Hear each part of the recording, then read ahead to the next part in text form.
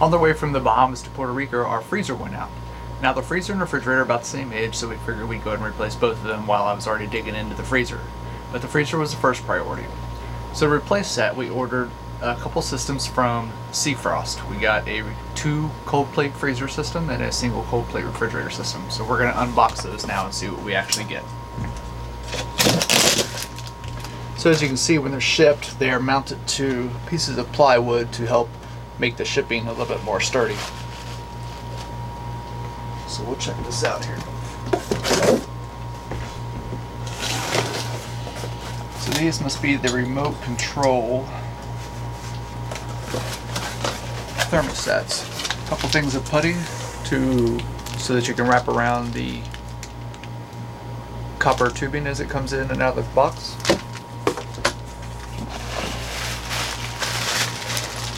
Some mounting hardware, and these must be the two compressors.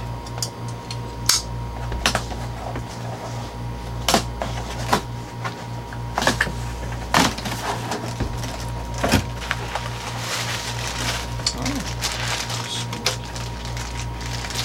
You get some extra insulated tubing as well. For the Seafrost systems, the compressors are actually the same. So I have two of these Seafrost BD systems. Uh, one runs the refrigerator single plate, and one runs their freezer dual plate. I also opted for the water to help uh, cool the com- cool the refrigerant. So we have an inlet and an outlet here for the water, which I'll hook up later. I also have 3 8 water hose that I have to replace because the old system was water as well. So I have to pull all that out and replace all that hose because it's 15 years old and doesn't look very good. So one of the first things you want to do when you're pulling out your old refrigerant system is to remove everything. But in the box, you need to epoxy all the previous screw holes. Otherwise, moisture can get in there and destroy the foam insulation. Because once your foam insulation gets wet from condensation that happens in the refrigerator box, uh, your foam insulation is almost useless. So what I did is I went in and I epoxied some of the screw holes. Our compressor is located in the floor of the cockpit on the Antares. And you can see here we have two compressors. This one over here is the fridge, and the one behind it is the freezer. I've already had the refrigerant removed from the lines. I have the power wires disconnected. So now I just have to actually pull the unit, clean it up a little bit, and then reinstall the freezer. And there we have our old compressor.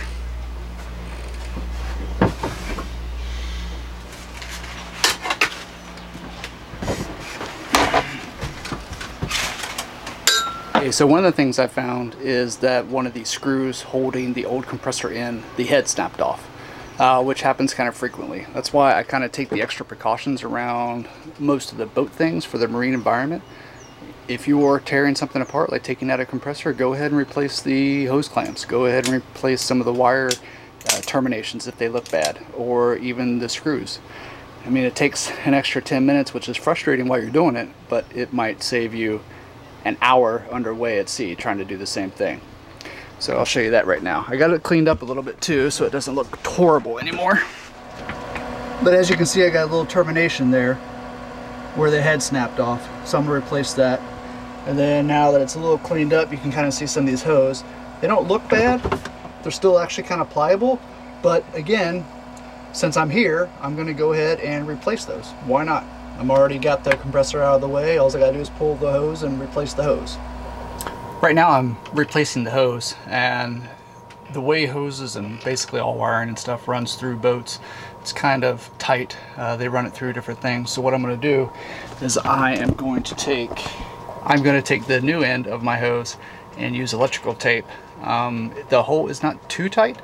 If it was, I could use thread and basically stitch the hose to the old hose along with some tape to make sure that it holds, but I think just the electrical tape will get me through it today.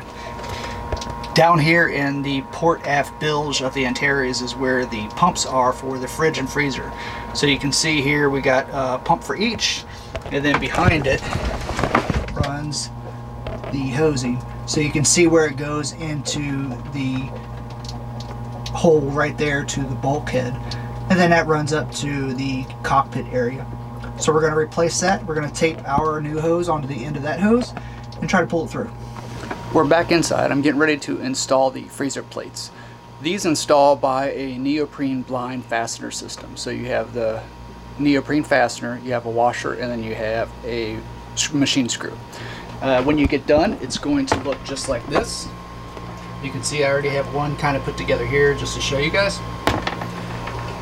Inside, I have the first hole marked right there. So I've already drilled that.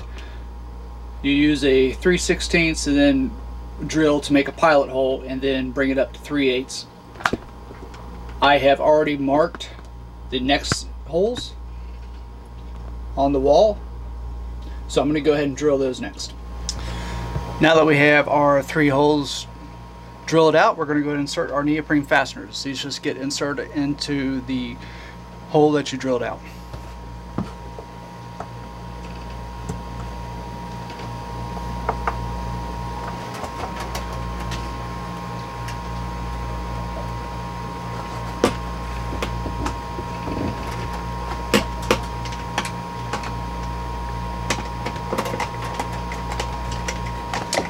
Right now I'm just leaving it loose until all of the screws are at least in and fitted and then I'll tighten it up and then that neoprene fitting will crush um, just making sure that no water or moisture gets into your foam insulation.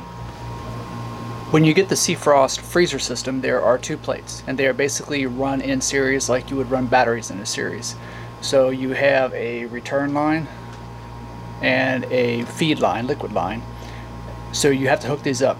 The way they give you to this is one plate has the liquid line and then the other one is going to have the return. I already have the other one run and they give you the leads for the two lines. Then they also give you a string of line which you have to connect yourself. This line here also has to connect to the line that is down in the freezer already on the bottom which is kind of fun when you have to get your body down in a four foot deep freezer to connect the line. That's always a good time. I wonder if I could pull those out and nah, that's too much hassle. I already got it in.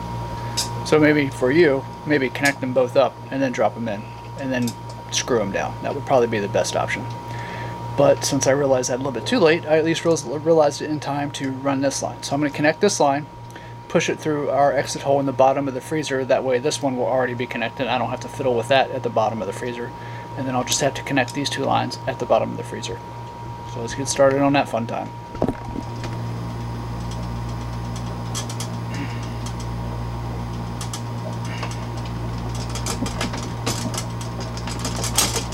We have both plates installed now. The next step is going to be to install the remote thermostat. As you can see, I have some of the old previous screw holes epoxied in here. And I'm going to use this one for one screw hole, and then I'm going to have to screw and seal another hole for the switch. Uh, the We have one plate on the forward and one plate on the aft so this is a simple switch. You just got a positive and a negative, which I'll have to hook up here in a second. And then you have the coil, which actually senses the temperature. And we will install the, the coil alongside here so that it senses the temperature of the plate. And then we will mount the thermostat right about there using the old epoxy for one screw hole and then I'll have to put another one in. Alright, as you can see I have the thermostat installed and sealed. We have plates on either side. Our connections at the bottom are connected. Now I just have to seal the hole at the bottom and wire up the condenser. Now we have the thermostat installed. We have removed the protective film from both plates. I have my lines covered, electrical wiring done, and the hole at the bottom is sealed.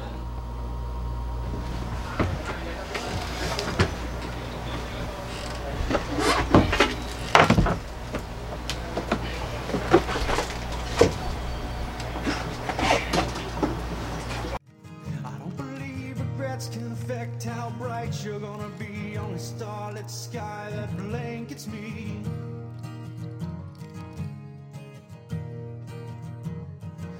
You stared and we laughed out loud. I lost sight of my course, took a bump to my head.